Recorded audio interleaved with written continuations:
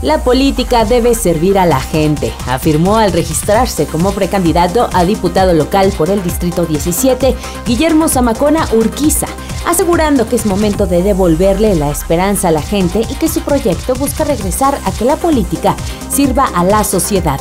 El precandidato originario de Whisky Lucan y con 17 años de trayectoria en el servicio público completó su registro para participar en el proceso que busca elegir al candidato tricolor para buscar la diputación por los municipios de Lucan, Jonacatlán, Santa Ana Gilotzingo e Isidro Favela. Noticieros Teleurban.